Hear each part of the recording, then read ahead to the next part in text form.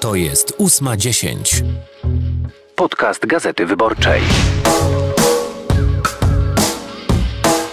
W dzisiejszym odcinku O słowach, które budzą emocje, wywołują często negatywne komentarze, o słowach, których nie powinniśmy używać. Jednym z nich jest murzyn. ósma dziesięć. Podcast Gazety Wyborczej. Michał Nogaś, dzień dobry Państwu. W 8.10 będziemy rozmawiali dziś o języku. Państwa i moim gościem jest literaturoznawca, tłumacz, pisarz, doktor habilitowany nauk humanistycznych, wykładowca akademicki Michał Rusinek. Dzień dobry Michale. Dzień dobry, Michale. Wiele teraz emocji budzą znów słowa, słowa związane z sytuacją w Ameryce, w Stanach Zjednoczonych i słowa, których y, w różnych częściach świata, w tym także w Polsce, używa się na określenie czarnych mieszkańców y, Ameryki Północnej. No właśnie, lepiej czarny czy bardziej czarnoskóry? Podejrzewam, że to pytanie trzeba by zadać czarnoskórym, czy też czarnym, e, bo to jest takie słowo e, i taka sprawa, w której to oni powinni decydować, tak mi się wydaje. I żadne słowniki PWN-u, nawet najnowsze i nawet e, najbardziej aktualne, nawet najtęższe głowy językoznawców nie, nie powinny tutaj decydować. Raczej powinny się wsłuchać w ich głos. Takie jest moje zdanie. Ale y, słowem, które budzi największe emocje, zwłaszcza po protestach y, przed budynkiem ambasady USA w Warszawie, jest murzyn. Tak. Tak, to jest takie słowo, które według słowników nie jest nacechowane pejoratywnie, negatywnie, ale y, mimo wszystko y, wydaje się, że jest. Szczególnie, że w naszej literaturze, ale też i w takim potocznym rozumieniu, to jest takie słowo, które jednak deprecjonuje tego, do kogo, czy też o kim w ten sposób mówimy. Tak czy inaczej deprecjonuje. I e, oczywiście ma to jakieś e, takie uzasadnienie e, kolonialne. Akurat Polska tutaj ma niewiele do powiedzenia, na szczęście, jak sądzę, ale też i myślę, że ten bunt trochę przypomina taki bunt wobec słowa cygan, który może nie był tak głośny, ale na pewno warto o nim przypomnieć bo przecież w pewnym momencie, w latach 90., zaczęto e, pilnować tego, żeby jednak używać słowa Rom. E, dlatego, że e, w takim potocznym rozumieniu, a także w czasowniku ocyganić, jest jednak zawarty pewien stereotyp, stereotyp negatywny, związany z pewnymi czynnościami czy też cechami przypisywanymi tej nacji jako całości. I myślę, że to dobrze się stało, że teraz się mówi, głośno się mówi o słowie murzyn, jako o takim słowie, które również, nad którym również powinniśmy się zastanowić. Mamadou Diouf, mieszkający od ponad czterech dekad w Polsce, między innymi wokalista, pochodzący z Afryki, napisał na swoim Facebooku bardzo przejmujący post, w którym prosi, by tego słowa murzyn już nie używać, ponieważ mówi się, używając tego słowa, o człowieku jak o towarze. No to prawda, to są to jest właśnie y, związane z kolonializmem, a może nawet jeszcze bardziej, jeszcze silniej z niewolnictwem. E, I e, myślę, że pamiętając o tym bagażu, czy też przypominając o tym bagażu y, historycznym i semantycznym, no, y, powinniśmy zmienić nasze podejście do tego słowa i nie uważać już tego słowa jako takie słowo neutralne. Tylko jak to zrobić? Bo mam przed sobą e, wyimki z komentarzy, które pojawiły się w sieci. Nie będę już mówił o komentarzach, które pojawiły się odnośnie tekstu, który teraz chcę zacytować, ale kilka dni temu na stronie Wysokich Obcasów Katarzyna Wężyk dawała fragmenty wypowiedzi ludzi na temat zdjęcia słynnego spod ambasady amerykańskiej w Polsce, gdzie dziewczynka o niebiałym kolorze skóry stała z transparentem Stop calling me Murzyn. I teraz co pisali komentujący? Ktoś temu dziecku powinien wytłumaczyć, że słowo murzyn nie jest nacechowane w Polsce negatywnie. Rada dla dziewczynki naucz się języka polskiego. Termin murzyn jest to zwrotem opisowym, a nie wartościującym, albo wyjedź do USA, będziesz afroamerykanką. Mówiąc brutalnie, ale wprost, nie tylko kwestia wyższościowa w stosunku do języka i konkretnej osoby, ale niestety też pachnie to rasizmem. No, pachnie bardzo silnym rasizmem i pokazuje coś, o czym ja mówiłem na początku. To znaczy, że to niby większość ma decydować o słowie dotyczącym mniejszości i e, ma niby decydować za tę osobę, a to właśnie powinno być dokładnie na odwrót. Skoro to słowo tę osobę obraża, to ona powinna mieć najwięcej do powiedzenia. Myślę, że najbardziej uderzający jest tutaj też jest ten drugi fragment, to znaczy drugie zdanie, które mówi wyjedź do, do Ameryki, gdzie będziesz Afroamerykanką. No oczywiście słowo Afroamerykanin jest dłuższe, czyli trudniejsze dla Polaka do wymówienia. Polak nie lubi mieć zbyt dużo trudności w życiu, ale mimo wszystko powinien się zastanowić nad, nad sobą. Tak, i zresztą w tym wpisie Mamadou Diouf'a, do którego też wracam, pojawia się także odniesienie oczywiście do jednego z przysłów, czy też zdań często w języku polskim cytowanych. Na przykład jesteśmy 100 lat za Murzynami. Nikt nie mówi jesteśmy 100 lat za Francuzami, Polakami, Amerykanami, ale to 100 lat za Murzynami pojawia się ciągle w takich wypowiedziach, oczywiście rzadko publicznych, ale jednak w języku. No i też nie najlepiej o nas świadczy. No oczywiście i ono się pojawia e, również gdzieś na jakichś Twitterach, e, czy w każdym razie wypowie również w wypowiedziach polityków, e, gdzie na przykład mówi się, że ktoś się zachowuje jak jakiś po prostu prymitywny afrykański kacyk, prawda? I to jest niby uzasadnione, niby jakoś funkcjonuje w takim potocznym języku, ale jednak zastanówmy się nad tym, jak wówczas stawiamy siebie względem Afryki i afrykańskiej kultury i zastanówmy się, jaką krzywdę tak naprawdę robimy tym, którzy z tej kultury się, e, się wywodzą. Swoją drogą, e, ja sobie wypisałem takie słowa, które e, z pozoru są neutralne i tylko opisują no, w potoczny sposób pewne negatywne cechy, ale oparte są na szkodliwych stereotypach. I to są wbrew pozorom czasowniki, a nie rzeczowniki. Na przykład oszwabić prawda? albo zaiwanić. Szwab to Niemiec, prawda? Sugeruje się, że jest to taka nacja, która może nas oszwabić, czyli może nas oszukać, zaiwanić, czyli ukraść, ale Iwan to jest imię rosyjskie i tu sugeruje się, że e, Rosjanie mają skłonność do e, złodziejstwa. Co więcej, wspomniany ocyganić, wspomniany czasownik, podobnie funkcjonuje czy też najbardziej takie, y, można powiedzieć, y, w naszej kulturze niebezpieczne dwa czasowniki, to znaczy podjudzić i przyżydzić, y, które też funkcjonują w języku potocznym. Nawet nie tak dawno była burza w mediach, ponieważ jedna z celebrytek, aktorek użyła tego słowa w telewizji w czasie jakiegoś programu śniadaniowego słowa przyżydzić, e, tak jakby przyoszczędzić, prawda? Ale to również są słowa, które zawierają e, niebezpieczne stereotypy dotyczące narodowości. I na tego typu słowa powinniśmy być szczególnie wyczuleni. A jak je z języka polskiego wyplenić? Skupmy się może na tym e, słowie murzyn, od którego zaczęliśmy. No bo tak, mamy w Polsce ciasto, które nazywa się murzynek. Mamy w literaturze polskiej wiersz o murzynku Bambo. Wiadomo, że teraz tego wiersza nie będziemy przepisywać na nowo i nie będziemy oczywiście palić książek, w których on się pojawił, ale co zrobić, żeby, żeby jakoś z tym zawalczyć? Pytam o to też w kontekście ostatniej petycji, która przez kilka dni była w sieci, a potem osoba, która ją napisała, przerażona skalą hejtu, wycofała to w ogóle.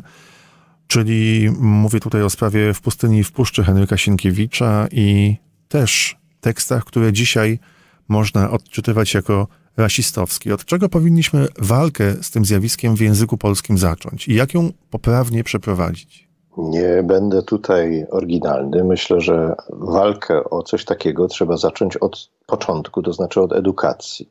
Ja przyznam, że nie jestem zwolennikiem usuwania książek z kanonu, ale też i przyznam, że nie jestem jakimś wielkim fanem kanonu, jako czegoś, y, można powiedzieć, istotnego dla kształtowania, powiedzmy, pewnych wzorców językowych czy społecznych. A przede wszystkim nie jestem fanem kanonu jako takiego sposobu na promowanie czytelnictwa czy promowanie książek. Francuski filozof Jacques Derrida kiedyś napisał, że najgorszą rzeczą, jaką można zrobić książce, to umieścić ją w kanonie, dlatego że kanonu nikt nie czyta. Kanon się mm, jakby przyjmuje po prostu bez czytania. Mm, nie czyta w sensie nie czyta krytycznie. Ja byłbym za tym, żeby e, spróbować przeczytać krytycznie książki, które są w kanonie, ale krytycznie to znaczy nie krytykancko, to znaczy nie krytykować Sienkiewicza na przykład, ale poddawać krytyce jego sądy i pokazywać, e, czy, czy frazy, czy, czy słowa, i pokazywać ich e, na przykład historyczne uwarunkowanie. Akurat w przypadku Sienkiewicza sprawa chyba jest prostsza, ale w przypadku wiersza o murzynku Bambo, czy wierszyka jest nieco inaczej. E, to jest pewien żart językowy. Trudno jego autora posądzać o um, rasizm, e, natomiast ten żart już nie śmieszy, ponieważ zmienił się kontekst społeczny, e, historyczny i tego typu teksty myślę, że powinny być poddawane krytycznej e, analizie w szkole i właśnie po to, żeby nie pokazywać, że one są śmieszne, tylko pokazywać, na czym polega problem w nich tkwiący, problem językowy, problem w tym przypadku ze słowem murzyn i z pewną niestosownością e, żartu, który jest w nim, e, w tym, w tym wierszyku umieszczony. Ale to są moim zdaniem wspaniałe teksty właśnie do tego, żeby na to zwrócić e, uwagę. Jakiś czas temu, a dokładnie e, w setną rocznicę odzyskania przez Polskę niepodległości, w jednej ze szkół w Polsce była taka afera, to znaczy kazano dzieciom śpiewać rotę. Jeden z uczniów powiedział, że on tego nie zaśpiewa, ponieważ tam jest fraza nie będzie Niemiec pluł nam w twarz, a jego najlepszym przyjacielem jest Niemiec. I teraz szkoła, co zrobiła szkoła? Szkoła zamiotła sprawę pod dywan, natomiast można było z tego zrobić wspaniałą lekcję historii, lekcję powiedzmy języka, lekcję kultury, lekcję dotyczącą e, historii literatury i funkcji literatury i myślę, że też i lekcję y, dotyczącą no, takiej postawy obywatelskiej, którą ten y, uczeń postanowił przez swój bunt, czy za pomocą swojego buntu przyjąć. I podobnie, dlatego o tym mówię, że y, ten wierszyk również powinien zaświecać w nas, zapalać w nas, to znaczy w uczniach, jakieś czerwone światełko, pokazywać, że jest to już w tej chwili niestosowne mówienie w ten sposób, mówienie, używanie słowa, słowa murzyn. E, I myślę, że jeżeli w ten sposób będzie się mm, e, prowadzić edukację, to e, wówczas także i zniknie z półek w cukierniach mm, to ciasto pod tytułem murzynek, to znaczy ono pewnie znajdzie jakąś inną nazwę, ponieważ ci młodzi ludzie, którzy będą przychodzić do cukierni, będą uważać, że to jest jednak nazwa wysoce niestosowna. Także zacznijmy od edukacji. Dobrze, to jeszcze zostając przy tym wątku edukacji, śledziłem komentarze związane z petycją w sprawie wyrzucenia w pustyni i w puszczy z kanonu i było kilka grup tych komentarzy. Jedna, ludzi, którzy się z tym zgadzają. Druga to ci, którzy twierdzą, czytałem, czytałam tę książkę w młodości nie zrobiła ze mnie rasisty. I trzecia, być może najmniejsza, to była grupa tych, którzy prowadzą zajęcia wokół tej książki. Wnioskuję nauczycieli, którzy twierdzą, że czasami mają okazję albo rozumieją, że trzeba o tym rozmawiać, inni w ogóle nie widzą w tym problemu. Nie jest to dla nich istotne. W związku z czym może po prostu należałoby pomyśleć o tym, żeby, nie mówię o roli państwa, chociaż ona jest potrzebna, ale żeby jakaś fundacja albo ktoś zainwestował w edukowanie nauczycieli, jak bardzo zmienił się świat i na jakie inne aspekty twórczości Sienkiewicza i innych y, polskich autorów zwracać uwagę. Oczywiście, być może powinna to zrobić jakaś fundacja, a być może powinniśmy to robić my, to znaczy, mówię tutaj jako wykładowca Wydziału Polonistyki Uniwersytetu Jagiellońskiego. I e, na zajęciach z teorii literatury mm, zajmujemy się między innymi orientalizmem i czytamy książkę Edwarda Saida pod tym tytułem i pokazujemy, dlaczego e, ten orientalizm również nas, czy też w jaki sposób ten orientalizm również nas i naszą literaturę dotyka i jak um, można znaleźć właśnie w polskiej literaturze takie wątki, na które powinno się zwrócić uwagę. Ale być może rzeczywiście, tak jak mówisz, działanie jakiejś fundacji czy jakiejś instytucji pozarządowej i pozauniwersyteckiej może też i moich kolegów na uniwersytecie i koleżanki na uniwersytecie skłoni do tego, żeby na e, te kwestie e, zwrócić uwagę. Jak widać, nie jest to wcale taka kwestia marginalna. E, ja bym jeszcze chciał zwrócić uwagę na to, co przeczytałeś, ten komentarz, że to ze mnie nie zrobiło rasisty. Ja zawsze mam ochotę zapytać, a skąd wiesz? to, to może trzeba sprawdzić w sobie, dlatego że tego typu uprzedzenia, dotyczące właśnie kwestii narodowościowych czy, czy rasowych, e, dobrze jest sprawdzić, czy rzeczywiście one gdzieś tam w nas nie tkwią. I może właśnie fakt, że nie zwracamy uwagi na e, no, dosyć jednak zdezaktualizowane, mówiąc eufemizmem, sądy Henryka Sienkiewicza dotyczące czy to czarnoskórych mieszkańców Afryki, czy w ogóle muzułmanów, może to, że nie zwracamy na nie uwagi, właśnie sugeruje, że, że powinniśmy się nad sobą zastanowić. To jest oczywiście też kwestia tego, pisało o tym e, wielu krytyków literackich, osoby, które prowadzą blogi książkowe, e, wykazują się dużą wrażliwością, jak można z tych wpisów e, zrozumieć. Wracam jeszcze na chwilę do tematu kanonu i książek, które się w szkole pokazuje młodzieży i które się omawia. No, że może warto w ogóle tę listę, nie wiem, czy to ma być kanon, czy po prostu lista propozycji, nieco odświeżyć. To znaczy, nawet kiedy patrzy się na listę tytułów, które są sugerowane jako te do wykorzystania podczas egzaminów maturalnych, no to właściwie jest tam jedna, dwie, trzy osoby, autorzy, którzy urodzili się już w świecie nowym, powojennym. Te książki, które czytają dzieci i młodzież, opisują świat, którego już dawno nie ma. Świat epoki kolonialnej. Te książki powstały nawet przed upadkiem imperiów kolonialnych, a co dopiero w roku 2020. To prawda. I tak naprawdę co jakiś czas pojawiają się takie pomysły, żeby odświeżyć kanon, żeby zmienić e, listę lektur w, w szkołach, i to są zazwyczaj bardzo ważne dyskusje. Y, ja jestem za tym, żeby te listy były jak najbardziej otwarte, to znaczy, żeby to nauczyciele mieli szansę decydować o tym, co y, dla ich uczniów jest, y, może być po pierwsze interesujące, może zachęcić ich do czytania, bo też pamiętajmy, że tak naprawdę przecież ta edukacja polonistyczna w szkole podstawowej ma za zadanie e, tak naprawdę promować czytelnictwo jako sposób spędzania czasu. Natomiast bardzo wiele tych książek i tych tekstów, które się wówczas czyta, to są takie teksty raczej zniechęcające e, do e, czytania, no, ze względu na to, że mm, są one po prostu y, przestarzałe.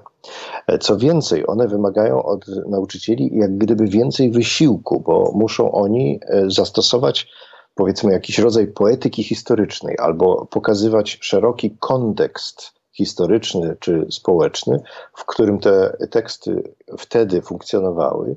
I być może właśnie wtedy, czy w momencie, kiedy pokażą ten kontekst, okaże się, że niektóre z tych wyrażeń, czy niektóre z tych słów, a może i postaw, tak naprawdę, e, to są takie postawy, które wyłącznie w tamtym kontekście miały mm, charakter pozytywny, a, e, czy też neutralny, a w kontekście współczesnym się po prostu zdezaktualizowały.